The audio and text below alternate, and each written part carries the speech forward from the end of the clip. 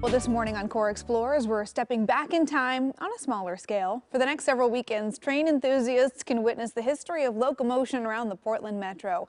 Kohr Harlan is live in North Portland this morning with a preview of the 75th anniversary Model Railroad Show. Good morning, Kohr. Morning, Emily, and man, they do put on a show here for the month of November, beginning this coming weekend here for the next uh, four weekends in November, all the way through December 3rd and 4th you'll be able to come through here and check out a replica, the largest uh, half H. HO. HO means what? Half O. Half O. I asked her three times. The largest half O railroad layout in the Pacific Northwest. It's a replica of the rail lines as they go up the Columbia River Gorge. And we are starting this time around here with the shot from uh, from uh, East Bend. This actually goes a little bit south of the gorge, too, into Bend. But uh, that's a, a, replica of the line as it goes through Bend right there. You can see the lower train kind of going into the tunnel.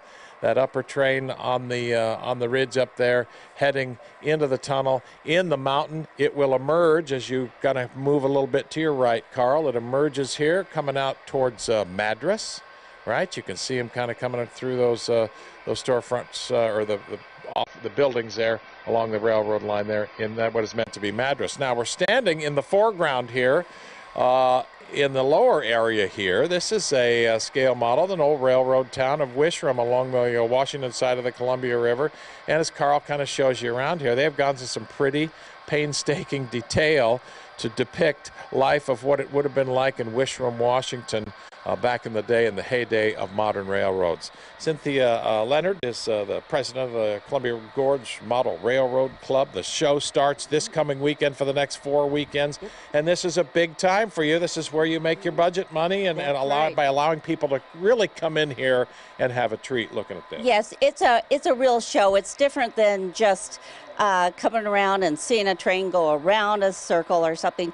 We're doing operations, we're, we're showing history, we're showing art, and when you get, um, you know, six operators up there and various operators in every yard, you've got a lot of trains running all at once, and it's spectacular. She said 35 people it takes to run this. It's just spectacular here. All right, Carl, about face to your right, hard to your right. We'll leave the uh, the ridge lines of uh, uh, Madras, mm-hmm. and we'll come over here to Hood River on the other side of the gorge. And again, a lot of this show is about history and some of the industry. Well, of course, a big part of the uh, industry and history of Oregon has been logging. One last log truck, uh, log train to come off here. Watch this as they dump that last thing of logs into the river there. There's a little mechanical lift there, and it pops that log off the train and what would be into the river there. That is a, another neat example of uh, just some of the history that's going on here. Yeah, the, right? the logging industry was so important um, in Oregon. Before uh, the tech industry came, logging was it. Yeah. And so this is this is what people would have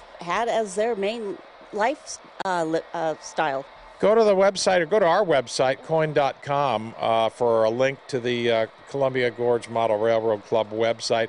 I should tell you there's also QR codes back here. I'm sorry, Carl, back this way here. There's also a lot of QR codes on the plexiglass as you walk through here, Emily and Kelly.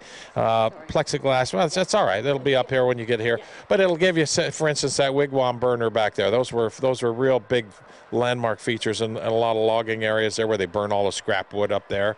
Uh, and you can learn a little bit more about the history of that and a ton of other things here with QR codes as the Columbia Gorge Model Railroad Club gets ready for its 75th annual show starting this weekend.